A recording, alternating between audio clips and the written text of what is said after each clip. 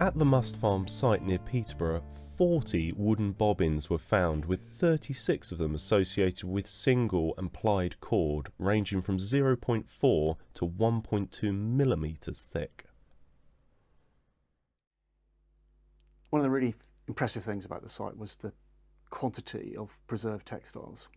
Um, and that's especially considered that the settlement burnt down, so that the preservation is through carbonisation in the main which suggests that we've only got a small percentage of what was actually present in the first place. And the other aspect of that preservation is that it, it appears that all stages of production are, are present within the assemblage. So we've got plant fibres, we've got yarn, and we've got the actual produced textiles as well. Finds of spinning related wooden artefacts from late prehistory are rare, and we are not aware of any British Bronze Age parallels for bobbins or spindles. So as well as finding the textiles, we also found the equipment of the artefacts of textile production. So there's things that you'd expect to find on most later Bronze Age settlement sites like spindle wheels and loom weights, but also there were the bobbins um, and potentially the, the fragments of a, of a loom within Roundhouse 1.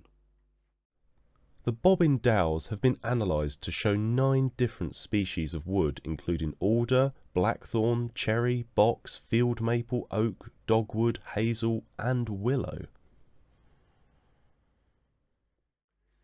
So the thread was made from linen or flax, um, but we also have on the site we have lime bast and we have some sort of coarse twining made from rushes as well. So, but the predominant material was from flax fibres, which also means that we've got these um, fibre bundles, which is the basically it's the plant fibres before they're spun into into into yarn itself or into thread.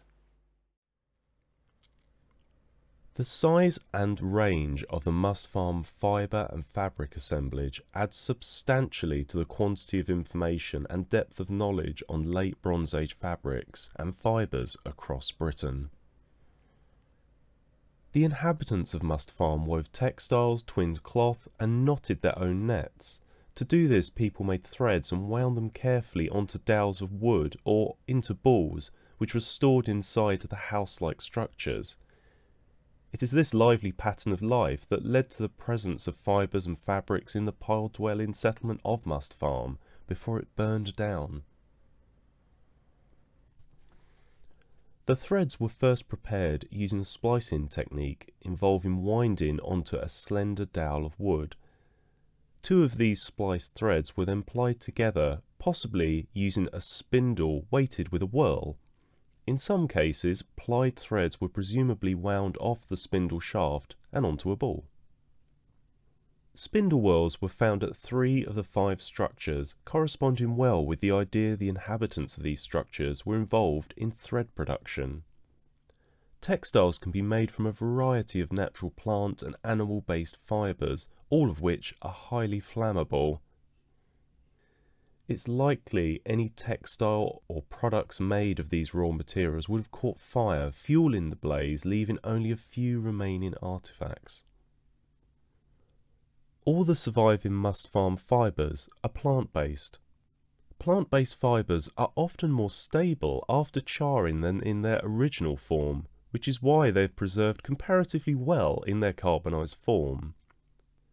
The absence of animal fibres such as wool might be due to the pH of the soil, which tend to survive better in acidic soils than alkali soils like those at Must Farm. The finds at Must Farm provided archaeologists with a range of British material similar to the prehistoric lake dwellings below the Alps, although chronologically most of the Alpine settlements are several millennia earlier, 4th to 2nd millennium BC. The distribution of the bobbins was a bit like the distribution of all the other material culture. We had pattern there so that some structures had more than others. So there were concentrations within Roundhouse 4 and Roundhouse 2, but there was some also present in Roundhouse 1. And there's a suggestion that perhaps the production of yarn was happening in some structures and the production of textiles was all happening in, in Roundhouse 1.